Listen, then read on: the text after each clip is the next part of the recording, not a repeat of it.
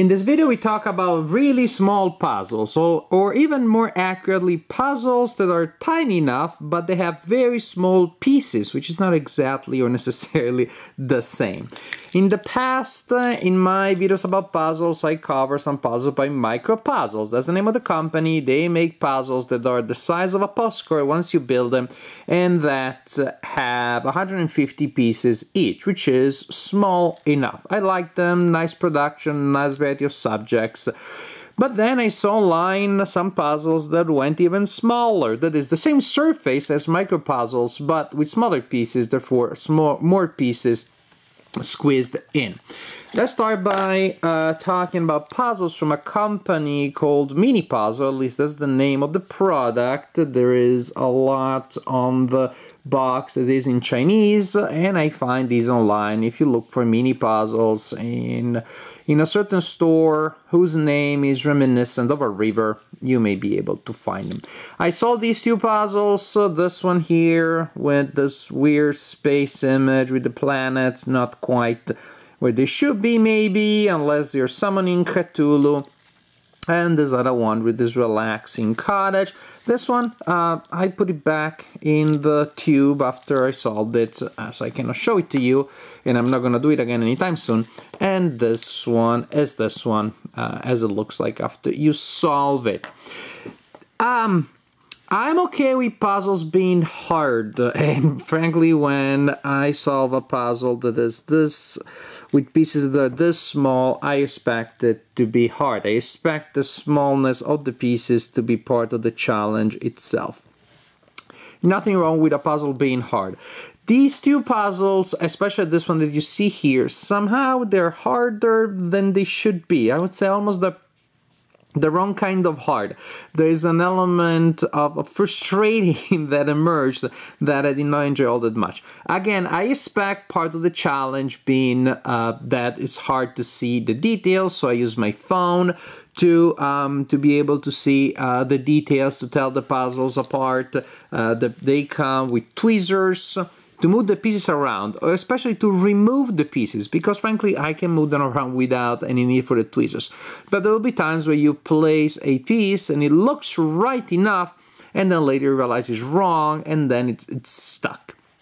And so that is what uh, makes the puzzle a little more frustrating. The image doesn't have a lot of definition. In particular, this image here, this puzzle here, uh, the colors are scattered all around. The distribution is totally crazy. This puzzle was not just very difficult, which it was, was also uh, frustrating because of the the fit that is loose enough that when you try to move around some pieces as, as a bunch, it's very hard, they're gonna fall apart, and yet tight enough that if you get a piece in the wrong location, it looks right, then it's hard later to remove just that one piece without making everything fall apart.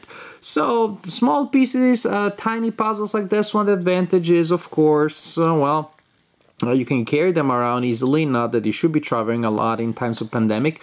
Um, you don't need a large surface to to play with them to solve them but the problem here is that uh, again in this specific this specific company this specific style with both of them the fit was both too loose and too tight at the same time and that's and that's the only way I have to describe it. I was happy when I was done, but I can't say that solving the puzzle itself was as fun as I expected to be. Again, because of distribution of colors in the specific puzzle here, and because of the, of the lack of definition with something this small, I want each piece to really stand out. Another thing you may have noticed is all the pieces have the same basic structure with two connections out and two connections in for lack of a better terminology. That's how I call them. And of course that adds to the challenge. This puzzle was more fun and less frustrating to solve because the areas were more clearly delineated. I knew more or less this part here goes here and this part here goes somewhere else, etc, etc. As opposed to this puzzle, everything is everywhere. It could just be a Jackson Pollock for jigsaw puzzle purposes. So puzzles by mini puzzles, yes, small, pretty cheap, portable, etc, etc, but also a little bit frustrating.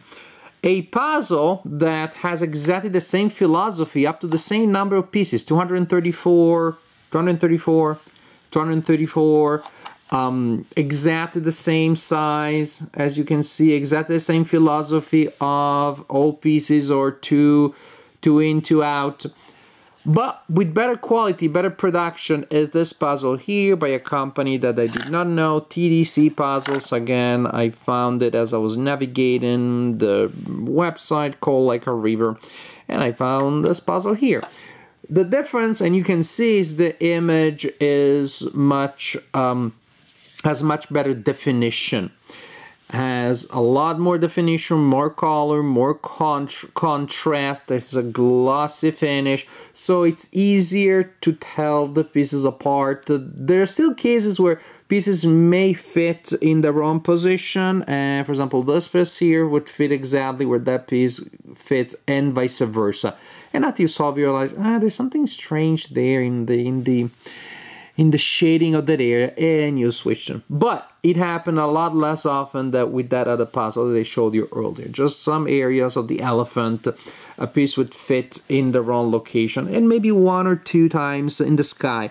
Uh, this piece here and this piece here, this one and this one, things like that. But a lot, a lot less. So in general, for a small, very portable puzzle, this puzzle here, the African Oasis by TDC, is in my opinion a much better option because this one was hard but not frustrating.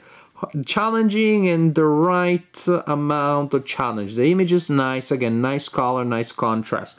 So, honestly, however, uh, for very small puzzles, I think I still prefer micro puzzles because the production quality is better and again, they're challenging enough, tough enough without being frustrating. But if you want to go the next level up of, of difficult, then I would recommend this one here, maybe other puzzles by TDC. I haven't I haven't looked into what else what else they offer. This is the tweezers in case you're wondering. And mini puzzles, uh, I guess the, the good thing is really they are very, very cheap. But other than that, not, not as great as I hope they would be.